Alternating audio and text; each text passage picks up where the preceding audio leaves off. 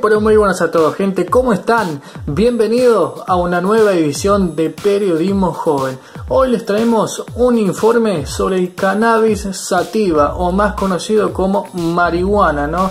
¿Por qué vamos a estar hablando de esto? Es que en la antigüedad se utilizaba esta planta tanto para la producción de eh, combustible, textiles o de papeles, ¿no?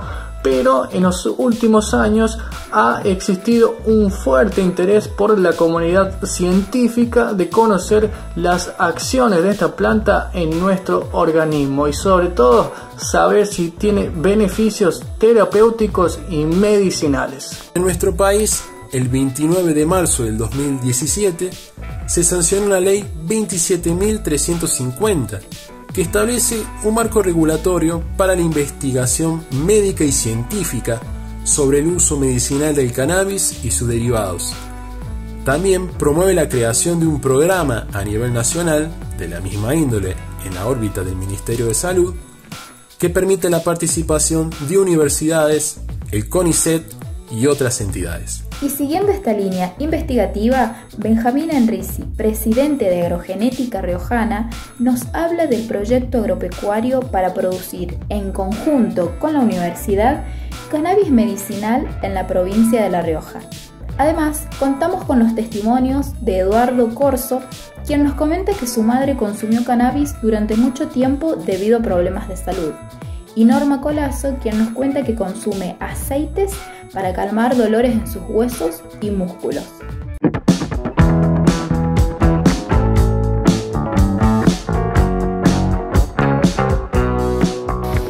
Respecto a las ventajas que presenta la provincia de La Rioja, eh, estas se pueden dividir en, en, varios aspectos. Primero, desde el punto de vista de clima, La Rioja, así como hace uno de los mejores aceites de oliva del mundo, también este, puede hacer uno de los mejores aceites de cannabis del mundo. Tiene una gran amplitud térmica, tiene una baja humedad ambiente, tiene una alta heliofanía, que es la cantidad de horas de sol al año, lo que permite que eh, la concentración de aceites y la calidad de los aceites sea muy buena, en un sistema de explotación que en La Rioja se haría eh, outdoor, es decir, a cielo abierto o a campo.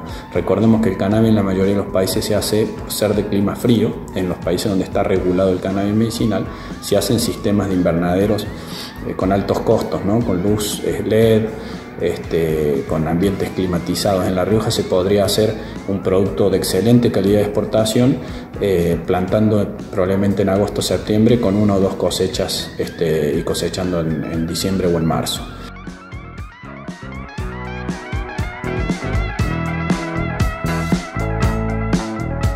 yo vengo a contar un poco cómo fue mi experiencia con el aceite de cannabis, que bueno, un aceite que mi madre ha consumido el año pasado debido a unas patologías que ya tenía de base en cuanto a dolores crónicos, eh, problemas estomacales y sobre todo el mayor que era un tema de cáncer.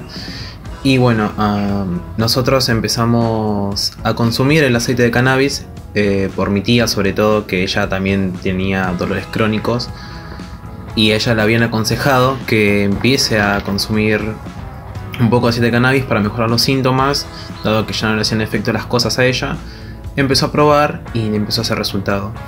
Y bueno, fuimos en búsqueda, que es lo más difícil de conseguir, que es, es el lugar donde lo puede verdaderamente poder conseguir el aceite de cannabis. Y llegamos a Mamá se planta, creo que se llamaba, que bueno, que era una organización, una ONG, que también surge motivado por la necesidad de consumir eh, el aceite de cannabis para las patologías, en este caso de la fundadora, que era para su hijo que tenía convulsiones y que le había resultado bastante bien. Nos empezó a asesorar un poco y resulta que hay diferentes cepas de, bueno, de, cannabis que sirven para determinadas patologías. Eh, mi mamá eh, terminó consumiendo 5 cepas, o sea, te las van dando gradualmente y depende lo que vos necesites. Las que yo ahora recuerdo eh, son dos, y bueno, tengo acá que es la Nebula, que se llamaba, y otra que es la 1024, que, bueno, como digo, depende cada cepa, puede variar.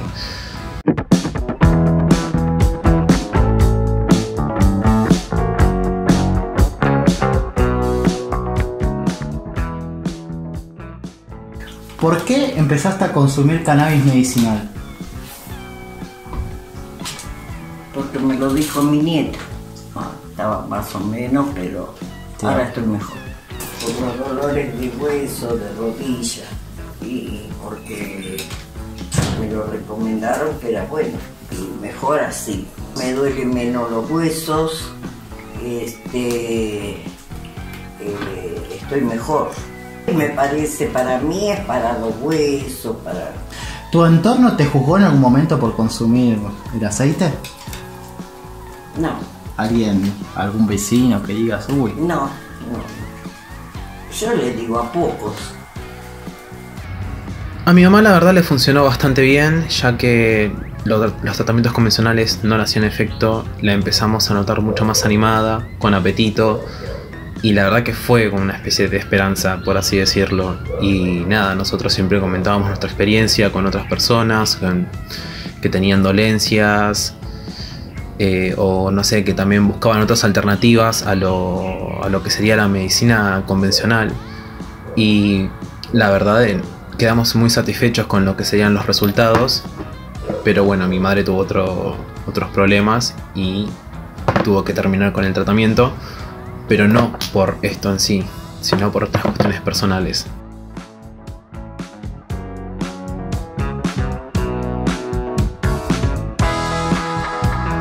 Eh, Otra de las ventajas que tiene es la posibilidad de producir orgánico este, y otra eh, posibilidad y oportunidad que tiene que es desde el punto de vista del impacto en el trabajo y en la sociedad, en los distintos estándares de, eh, que hay, sobre todo en el sector minifundista, eh, calza perfecto con eh, una nueva tendencia en el mundo que es la trazabilidad de los productos o dónde nacen los productos que consume el ser humano, y en este caso en, en un producto médico, en donde es muy importante que las empresas que compran en el mundo eh, les gusta ver o la trazabilidad implica de que eh, hayan generado un cambio en la calidad de vida en los lugares donde se produce. Y La Rioja podría generar un importante cambio en la calidad de vida a partir de la generación de, de trabajo.